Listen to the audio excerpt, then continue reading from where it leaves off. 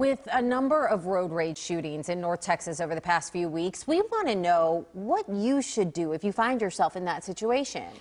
Or better yet, uh, what you should do if you're actually the driver who's angry. Here's Kennedy Walker with some answers.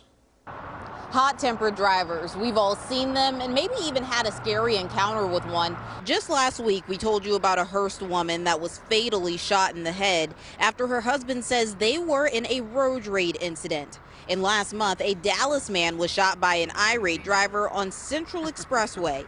Bullet holes pierced through his truck, his finger having to be surgically reattached after being hit. Statewide, AAA reports more than 1,600 crashes were the result of road rage in 2022.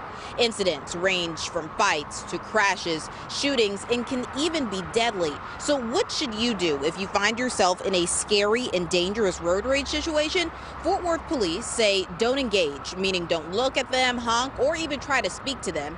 Do your best to get away from the scene, uh, get out of their way, and if they're following you, go to a police station or a populated area.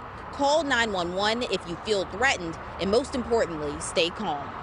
If you're calm, you're going to be able to think more clearly and make a rational decision. And it's also important to re remember that if you're in a road rage incident, you're in a several thousand pound vehicle barreling down the road. So if you make a panic decision, you may get away from that person, but you may cause a wreck or, or cause some other kind of injury. So it is important to make good decisions.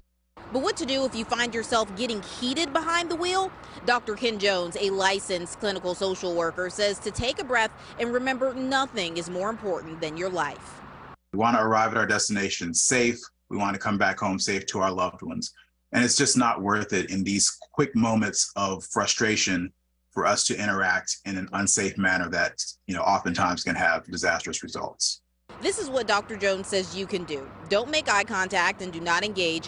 When you're feeling yourself getting upset, just forget it and move on and recognize that what happened most likely was not personal.